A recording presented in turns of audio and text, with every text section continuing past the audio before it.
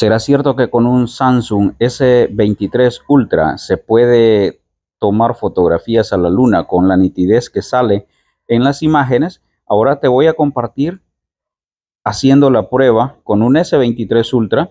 Justo en ese momento tenemos un zoom de 0.6x. Observa que apenas se puede observar el puntito de la luna. A un X se puede apreciar que se va acercando. A 3X ya se puede apreciar un poquito más la luna. A 10X observa cómo se puede ver. Cuando presionamos el 30X ya aparece de esta forma. De repente aparece un poco iluminada y luego se quita el efecto de la luz.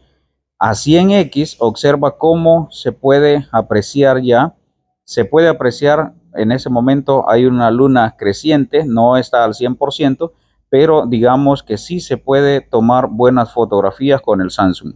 Te dejo las que logramos tomar en este momento. Mira, se puede apreciar con bastante nitidez el globo de la luna y algunos de sus cráteres.